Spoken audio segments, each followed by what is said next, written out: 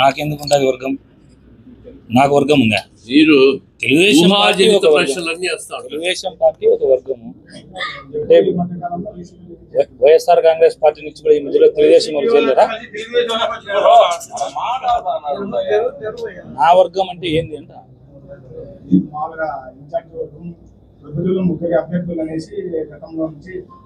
ఒకరికే కదా be form ఇచ్చింది ఇచ్చినారు కదా.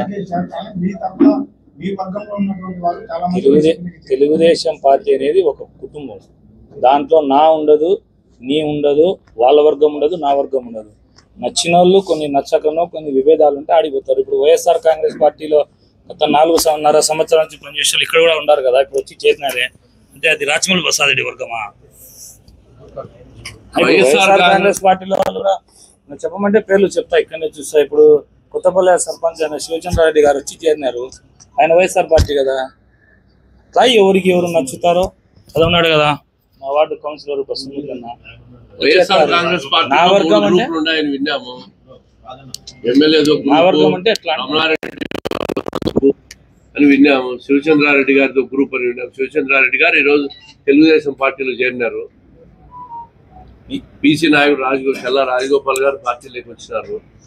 ముఖ్య అయ్యా. నాయకులు అందరూ వచ్చినారు. ఎన్నికలు అన్నాక వలసలు ఆయారాములు గయారాములు సహజం.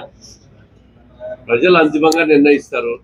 తెలుగుదేశం పార్టీకి గెలిపించాలా తెలుగుదేశం పార్టీ అభ్యర్థిని గెలిపించాలా అని చెప్పి ప్రజలు ఒక నిర్ణయానికి వచ్చినారు.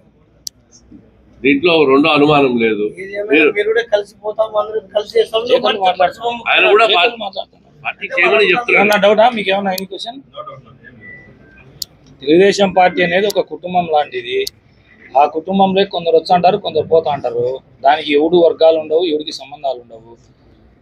ప్రజలకు తెలుసు మీకు విలేకరులకు డౌట్ ఉన్నట్టుంది. ప్రజలకు ఏం డౌట్ ఉండదు. కొందరు సరిపోకపోతుంటారు ఇప్పుడు శివచంద్రారెడ్డి గారు ఎమ్మెల్యేతో సరిపోక ఈ పక్కకు వచ్చినాడు. ఈ పక్క కొందరితో సరిపోక ఆ పక్కకు పెట్టారు?